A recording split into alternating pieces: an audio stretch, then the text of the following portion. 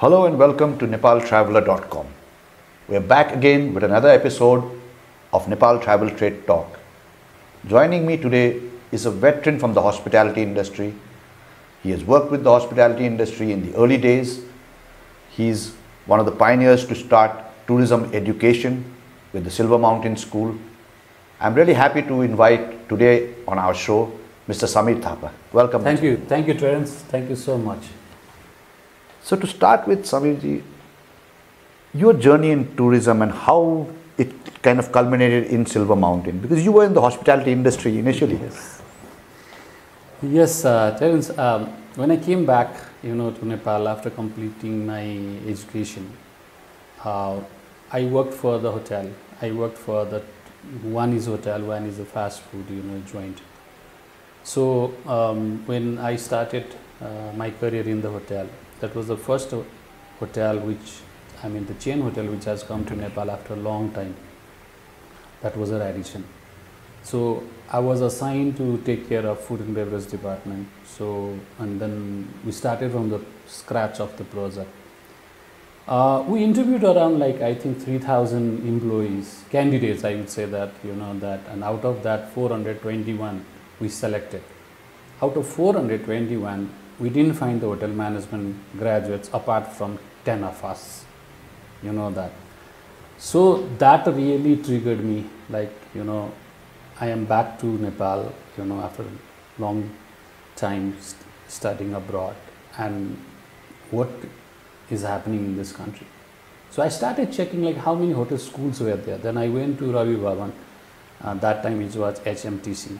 That that was the only one institution from the government side was existing, and they were not even offering the bachelor program. They were offering the diploma program, and later on they converted that HMTC into NATHM. NATHM. You know that's how NATHM started, which HMTC started 50 years back. You know. And I was look, I went to Tribhuvan University to check whether if they have any kind of course available for the hospitality uh, students. They said they don't have anything, you know. So then I said like I am back. So why don't I start something of my own, you know that. And I got I saw the opportunity over there that I can start the college, you know that. Uh, then I was looking for the course we didn't find any course then we have to get the course from uh, outside you know that so i contacted my contacts in us uh, so then we got the course from us initially and we started and that time interesting part is there was no any law from nepal government any provision from nepal government to run and award the international program in nepal so we actually ran for at least two years without any permission, just with the company registration. And we just struggled so much with the government. We lobbied, and finally in 2003, they brought the act, not act, we'd say directorate, to run and award the international college.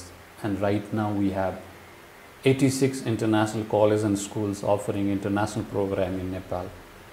And out of that, you know, after us, uh, we have more than 40 hotel management colleges which are open right now, Right. offering a bachelor's and master's program in Nepal. And he- many of them were opened by my ex-employees, even from the, the graduates. You know, that I'm so happy and proud that this hospitality education has grown up and becoming a wine industry. You know that. But when you talk about Silver Mountain, which is one of the pioneers from the beginning, you were there in the education. How do you see the journey of Silver Mountain itself? Oh, it was uh, it was interesting but tough. You know, when we started, like uh, people were not very much eager to join the hospitality industry. There was an old perception uh, actually in the society that you know those who go and work in the hotels they get spoiled, especially for the girls.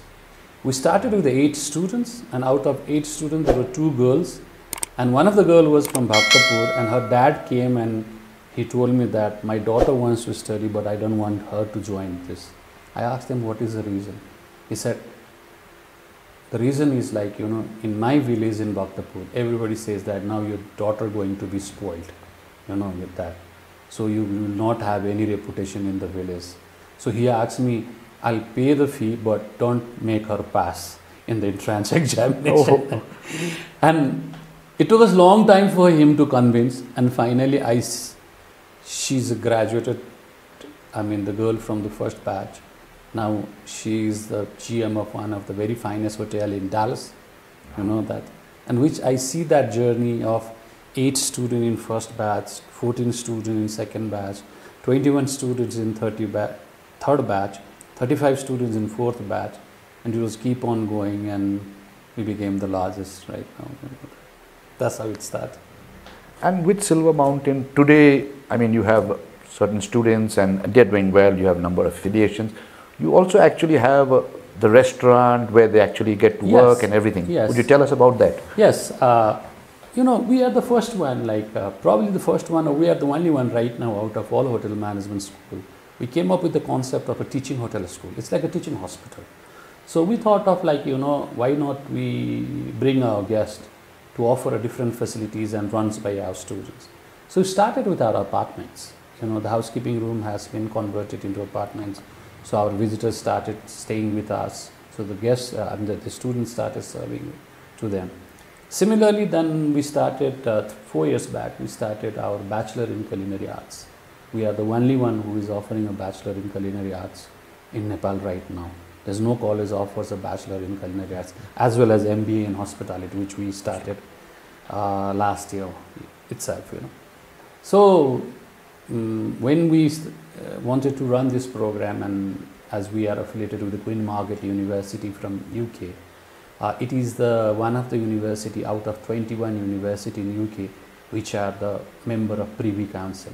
Privy Council is a mm, umbrella organization of British government where top-notch public universities are the only member. It's, you can say that it's like Ivy League Ivy League. University of US and Privy Council uh, patron is King Charles.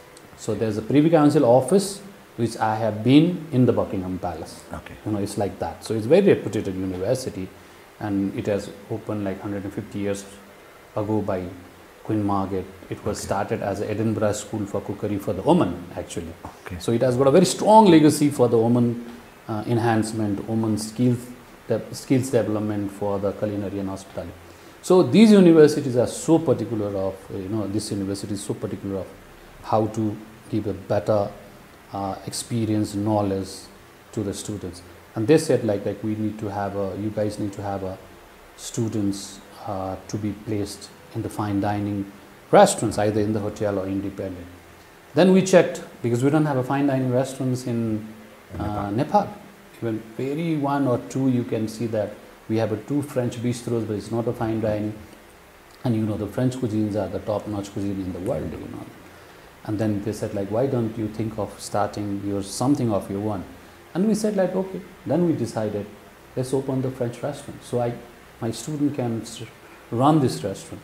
So then we lobbied with the French embassy, then the French ambassador. Uh, actually, we lobbied before the COVID, and uh, we saw three French ambassadors helping this for this restaurant. And finally, the previous one, the one which has just gone back to France, uh, he really helped.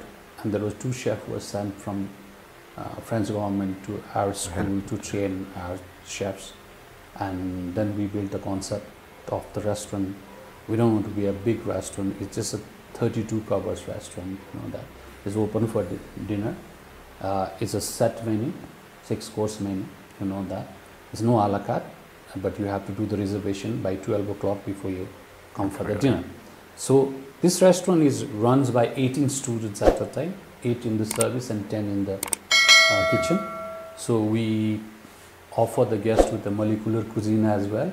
So the student learns everything, and it's a fine dining rest, French restaurant uh, in Nepal after the Gorkha Grill, which was there a long time back in Soaltee Hotel. You know, so this is a one, uh, one of a kind for the hotel schools. Even in India, I have seen a very good schools like you know they are offering, I mean, um, the facilities to be used by the guest, but um, having a fine dining is something different.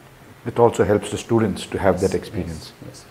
When you look at the hospitality education institutions, colleges today, as you were mentioning, there's over 40. Have we managed to improve the kind of human resource that we're putting into the industry, or is it just another something does well, so everybody jumps in? Till some extent, you are right. you know, we have this copycat of uh, doing business in Nepal. If somebody does in one business, everybody jumps at. From the one startup business to the big business house, they jump into that business, grab the market. But no one is thinking to you know extend the pie and get the bigger pie. You know that so everyone jumping for the same pie. Uh, till some extent, the quality of education in hospitality has really gone up um, after like all these schools has come up. There are good schools which are uh, running in Nepal. Uh, you know, four five schools are really good schools. I could say that. Uh, but we, after this, like you know, my journey of 24 years, which was actually the journey of hospitality education in Nepal, apart from the NATHM's history. Um, I think we have stagnated in one point right now. Uh, we are more focused on, um, you know, uh, supplying the demand rather than, you know, um, doing the fine tuning on the human resources. Uh, I don't blame to the schools only. I also blame to industry also. Industry should encourage schools to have their kids in the premises, starting from internship to the job. You know that. Uh, in this like you know international scenario like every chain of hotels around the world is approaching to nepal market to grab the kids so which is a big big opportunity for the students as well as for us. That's how everyone is jumping because uh, the students get the international exposures. For example taking talking about the internship like i work with 45 five star hotels and resorts in 70 different countries for the internship. My team is so much into providing the best internship and experience to the students. Uh, we have a few students who are also doing internship in Nepal. But if you compare that, the what students get, not only the financial part, but in terms of training, in terms of experience, which the students get much, much higher uh, exposure outside the country than Nepal. So the, our industry, our hoteliers should think about how to give them more exposure this to, to these kids, like you know that. If these kid, kids get a chance to work over here and get, uh, I mean, decent stipend, not I'm talking about the pay, as a interns they get a stipend, decent stipends and give them a facilities, there should be definite hours, you know that.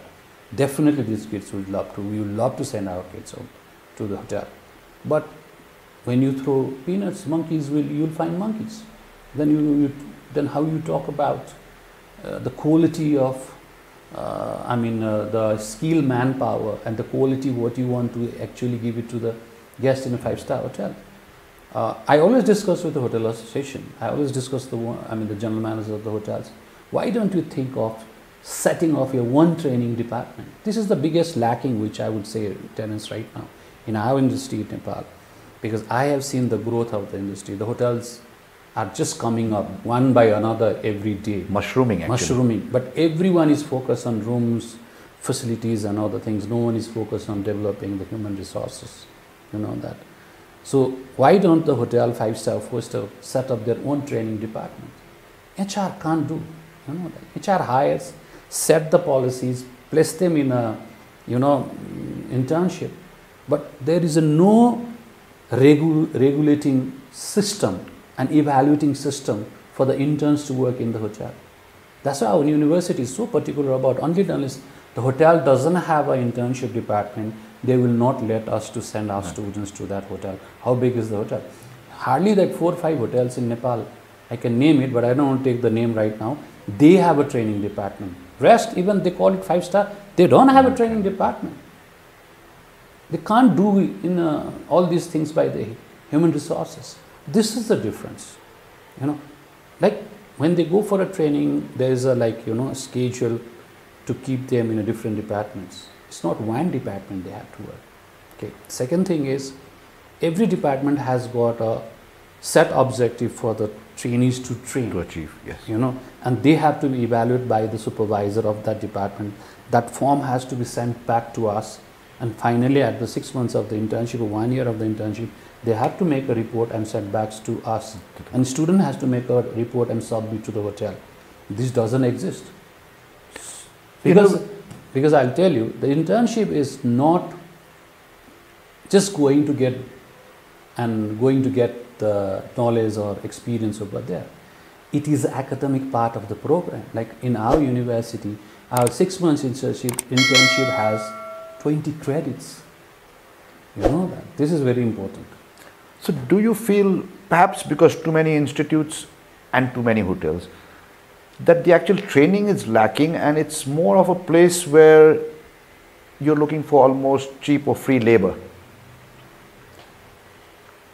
you could you could say that you know you could say that um, it's not 100% but you could say that. It happens in a lot of you know what happening is a bad trend over here is like you know i'll give you one example of hotels when you know when we go for a banquet or any function and you you you you are holding either the drink whatever the drink or you are having a plate and having food right? And just check Terence if some waiter just come you know that and when you are having a food he offer a food to you. You know these are the basic i mean the parameters you check. When you're holding the glass you have enough drink in your glass that waiter come and asks you sir drink. So this is what the problem is. Every layman who walks not the hoteliers like us who walks in the hotel he could easily make out that these are not, the Not trained. professional or trained interns.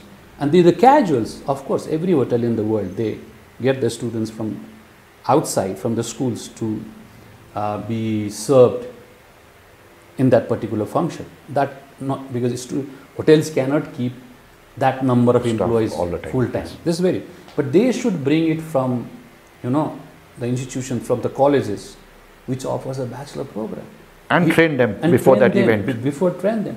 So you are getting the students from small one or two room institutes for the you're getting in the less payment and this thing happens. I see in five star hotels and i tell the general manager what the you guys are doing? Where these kids are from i can easily make out whether these kids are from hospitality management college or they are Yes. from one small institute. You know that the way they dress up the way present they present and the first thing is sense of humor. This is this is different. That's why you know i know it's like some hotels they are really working right now for the casuals making a really good team like like Soaltee they are really working for the casuals they have listed a pool of students from different colleges giving them a training you know that and using them for the casuals to make sure that they are on the parameter of what five stars is should be. required. This is a good uh, initiations like some hotels are doing it. Do you think there should be more dialogue between the industry, perhaps HAN can take the lead, and the institutes to ensure that you know these balances are met, that the basics are at least in, in place? I think there are lots of talks that have been happening. You know that there are lots of talks have been happening. It had happened in the past. Uh, I would say that more than HAN, HAN has got a role definitely. HAN can become. I had a, I mean, a long chat uh, with uh, Mr. Binayak Shah, Shah, who is the president. You know, uh, for I mean, I had meeting. I had a talk with him a couple of times. But HAN has the limitation. They can only facilitate, and he's really, I mean, helping to bring the industry and academia together for a long time. You know that. But it has to be initiated by the individual, Individual hotels. You know that.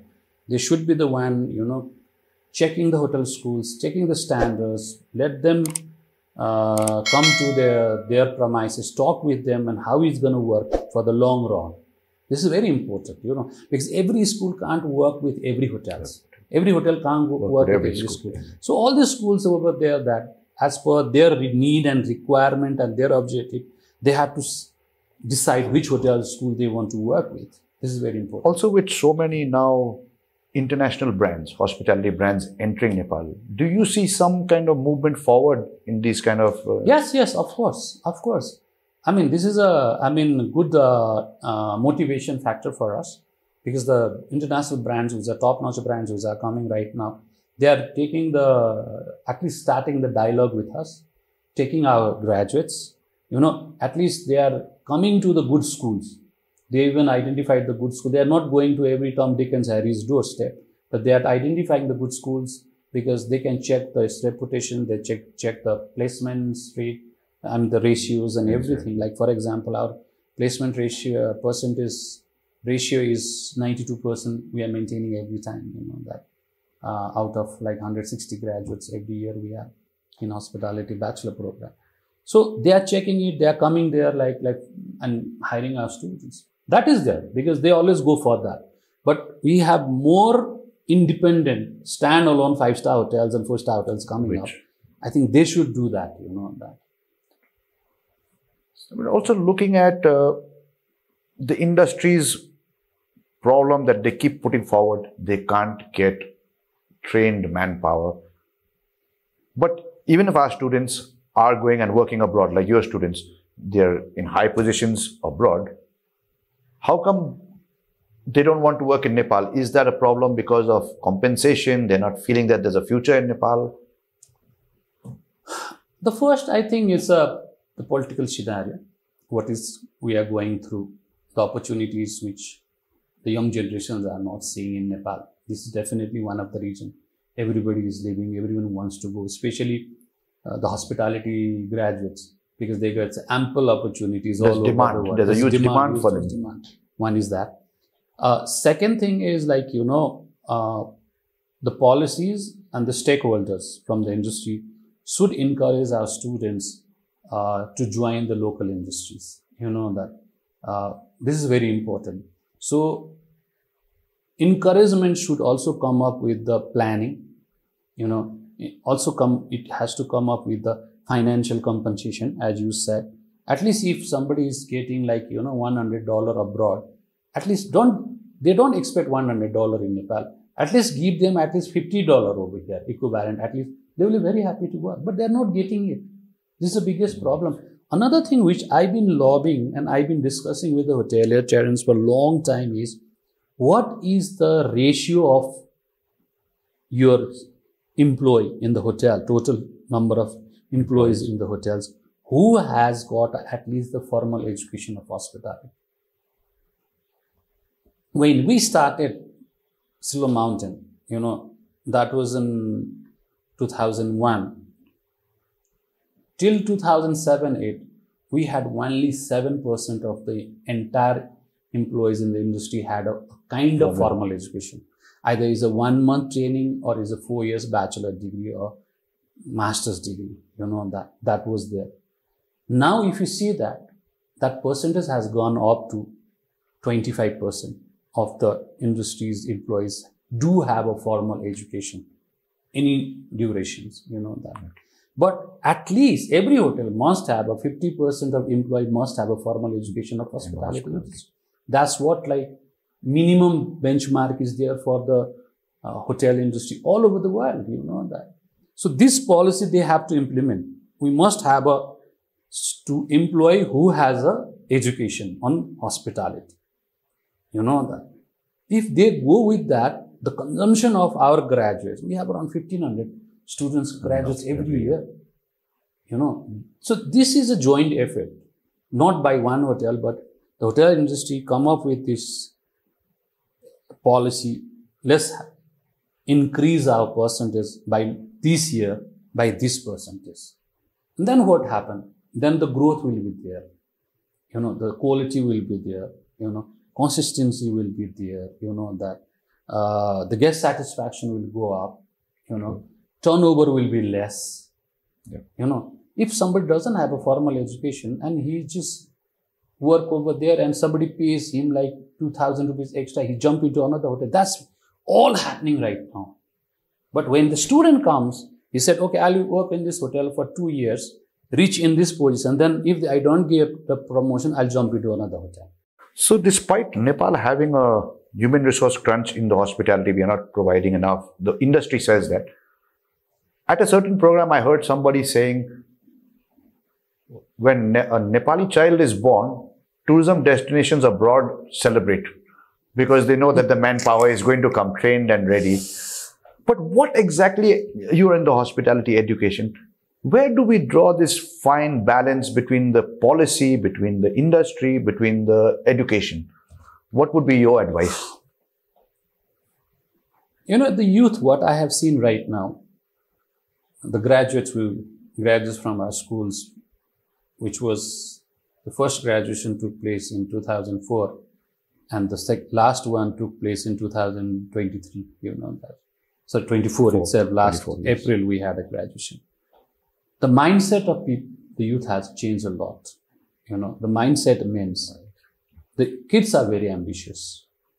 Their pace of their ambitions in the industry has to be matched by our policy, our employees, and the parents. The growth, they need, they, they look yes. for a growth. You know, they look for a growth, they look for a, at least a, to earn enough money for their to sustain there in this wherever they are living. This is that these are the things we have to address.